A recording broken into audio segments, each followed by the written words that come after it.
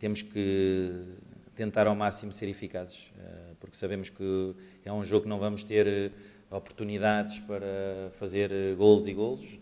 Não é um jogo que estamos à espera de ter o domínio nem o, nem o controle por causa da qualidade do adversário, por causa do tipo de jogo do adversário, do estádio que é, do momento também do, do, do Sporting. Portanto, sabemos da, da, realidade, somos realistas, temos que jogar com as nossas, as, os nossos pontos fortes e jogar um bocadinho também com os pontos que identificamos que possam ser mais frágeis do adversário. Sabemos que temos uma montanha muito grande para subir. Uh, jogar em Alvalade não tem sido fácil para ninguém. Este ano o Sporting está muito forte também.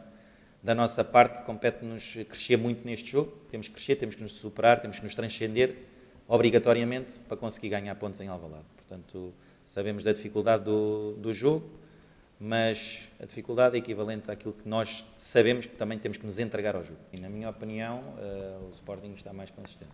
Está com uma dinâmica muito boa com e sem bola, está num momento bom. Há momentos, as equipas atravessam momentos, portanto, está num momento bom. Um, e há muita competência de, de, da equipa do Ruben Amorim, da equipa técnica dele, de, dos jogadores do, do Sporting.